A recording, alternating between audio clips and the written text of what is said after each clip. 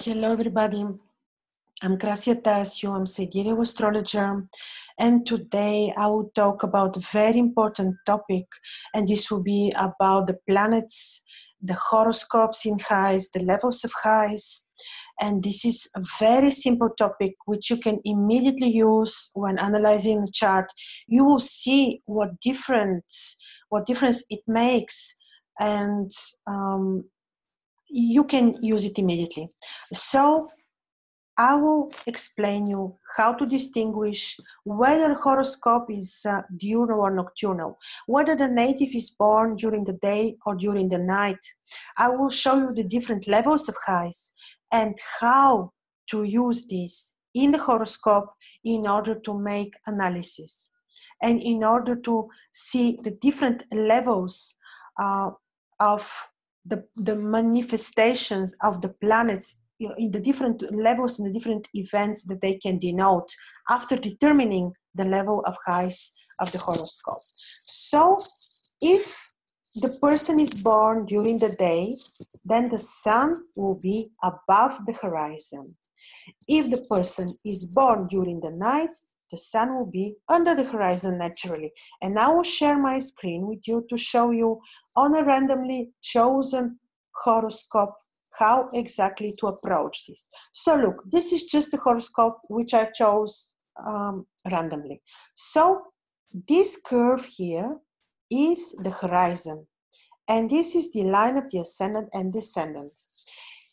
Most of the softwares do not draw this line of the horizon. Doesn't matter, just look at the line of the ascendant and descendant. And if the sun is above, the person is born during the day. And this is very, very important. And this is the first step to do when approaching a horoscope. So, the sun is above the horizon and the person is born during the day. Why is this so important? I'll explain you. But first, let's determine the different levels of hayz. When we determine the first step, day and night birth, we see that the horoscope is having the two halves, one above the horizon, one under. This is above is the diurnal half, below is the nocturnal half. Then we divide, we draw mentally a line and we cut the horoscope in four squares. The first quadrant here, from ascendant to somewhere mid of the 10th house, is the is diurnal, day quadrant. From here, from this part, somewhere from midheaven to descendant is nocturnal quadrant. From descendant to Imum Coeli somewhere, it is diurnal quadrant. From Imum Coeli to ascendant is nocturnal quadrant. This matters, and I will tell you why. Then we continue uh, analyzing the levels of hayz because there are still a few to determine. Then you have diurnal and nocturnal zodiacal signs. And these are levels of dignity which are apart from defining the exaltations, whether planet is in own rulership or not, uh, whether the planet is detriment or fallen. All these matters, and you, of course, you need to take into account but not without determining the levels of hayz in the horoscope. So, all masculine zodiacal signs are diurnal. And this, let's start with Aries, masculine diurnal, Gemini, diurnal, Leo, diurno, Libra, diurno, Sagittarius, diurno, Aquarius, diurno. Then the others, of course, will be nocturnal, night zodiacal signs. Their nature will be of the night. Pisces, nocturnal. Taurus, nocturnal. Cancer, nocturnal. Virgo, nocturnal. Scorpio, nocturnal. Capricorn, nocturnal. We continue with the natures of the planets. We have Saturn, Jupiter, and the sun diurnal planets. They have diurnal qualities, diurnal natures. Such nature can be attributed also to Venus, because Venus is having heliacal phases as Venus can be morning star or evening star. If Venus is rising on the eastern horizon in the morning before the sun, Venus is a morning star. This is Athena Pallas. This is Inanna from Akkad. But this I am ex- will explain in another video because now the emphasis of the conversation is another. Venus can be uh, um, evening star, nocturnal nature then. And this is when you see Venus after the sun sets, Venus is rising on the western horizon. And this is Venus Aphrodite. Um, this is Venus which has more feminine, uh, it's a feminine divinity. Venus is uh, in Babylon, this was Venus was uh, Inanna from Uruk, so different nature. Then you have Mercury, which also can be morning and evening star, the same way we you distinguish. And then you have nocturnal planets. Of course, this is the moon. Of course, this is, uh, we said about Venus and Mercury. And this is Mars. Mars is also nocturnal planet, typically nocturnal planet. Why is this so important? Because diurnal planet in diurnal horoscope, we say that this planet is in hayz. What is this meaning? That the planet is feeling comfortable in own environment. Take Saturn. Saturn is the judge.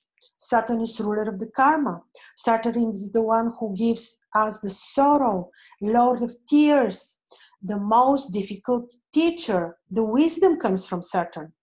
But if Saturn is in diurnal horoscope, such Saturn is not as harmful, as difficult, and as he, he would be in nocturnal horoscope. So this horoscope is diurnal. Saturn feels better in this horoscope and will be less afflicting for the native. Of course, let's look. Apart from looking if Saturn is exalted, if Saturn is ruling his own sign, if Saturn is detriment, if Saturn is uh, on a fall, let's look if Saturn is in diurnal or nocturnal sign, diurnal or nocturnal quadrant. Now, Saturn is in the last degrees of Aquarius. Well, he rules Aquarius we don't look at this now of course definitely take it into consideration but the emphasis is different saturn is in nocturnal quadrant but in diurnal zodiacal sign. Up and so he is having good dignity being in uh, diurnal zodiacal sign. Also in the diurnal part of the horoscope so saturn feels very well in this particular chart. He will be maybe less harmful. Yes, you need to determine also whether he's joyful, whether he's in, a, in, in the house which he uh, feels joyful in. All this is separate level. Uh, sep- all these are separate levels of dignities that you need to take into consideration, apart from the level of sect, from the hayz of the planet. Take Jupiter. Jupiter, of course, is a planet which is always benefic. He's he got Marduk rules Jupiter in Babylon, and he is friend of the earth. Um, he's he created actually basically humanity together uh, with other uh, supreme divinities. But Jupiter is diurnal planet. In diurnal horoscope, Jupiter will be will be more blessing, will denote um, all of his beauties to the native. Jupiter is the, the uh, planet which gives the children the main significator of children. So this is to be taken into consideration. Take Mars. Mars, night planet. In this daily horoscope, Mars doesn't feel comfortably. Mars will be harmful. Mars will denote the lessons to this native in the sharpest way. So this is how you judge to what levels the, the planets will influence the native. Well, uh, the moon. Very important star is the moon. The moon can have diurnal and nocturnal nature as well, like the other stars and planets. Just to remind you, but I have separate video about this, which I called why call the black moon new moon, and there I'm explaining about the lunar phases. So, just to remind you that when the moon is conjunct with the sun three days, we have invisible moon. Then the moon, on the fourth day, the moon appears as a thin first lunar crescent. And with this, the new lunar month begins. From this moment, the moon is waxing. The waxing moon is diurnal moon. Such moon is very harmonious with diurnal horoscope. Then the moon makes opposition, comes in front of the sun, makes opposition, opposes the sun. And here we have two heliacal phases, acronychal rise and cosmic setting, but this is another subject, and partially I'm mentioning, uh, talking about this in, in the video that I just told you about.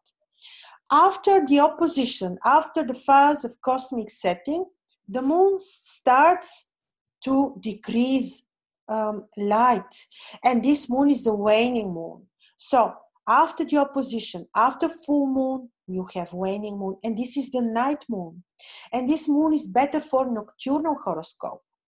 So this, this moon in this horoscope is a night moon. The horoscope is diurnal, the moon is a night moon. How harmonious this can be?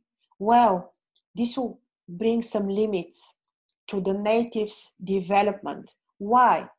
Because if, for example, you look at the position of the sun, if the person uh, would be seeking success in career, like, of course, we discussed this under another video that uh, the, the levels of success and the term success is different and is very personal for every person. One can seek success in career and materialistic things. Other can can be very, can feel very successful in spiritual in the spiritual reality. So the levels of success are different. But let's look at the most simple and basic level of success, the one the material success. So in this chart, the sun is exalted in the last degrees of Pisces. Yes, the sun is exalting in Pisces. Uh, but I will explain this in another video. This is another subject which is being totally misunderstood and um, simplified uh, by the modern astrology. So the sun is exalted above the horizon, of course, and um, in a very promising place which probably promises very good career opportunities to the person. Yes, but how far the person can go, how high the person can reach, depends on the moon. And in this particular case, the moon is waning. Well, there will be limits in achieving, in reaching success. So you see how important it is to determine the levels of hayz of the planets, of the chart, of the zodiacal signs. So uh, I hope this was useful. Uh, I hope you can immediately use it for your own uh, horoscopes. Then you'll see how much value you add when analyzing a horoscope. This is the first step which I undertake when I have a chart in front of me to see day night chart because this makes day night difference for the native. From this depends whether the person will have children or not and so many other details. So with this i'm completing this video. Feel free to ask questions and also to propose topics that i may um, analyze discuss in the next video. Thank you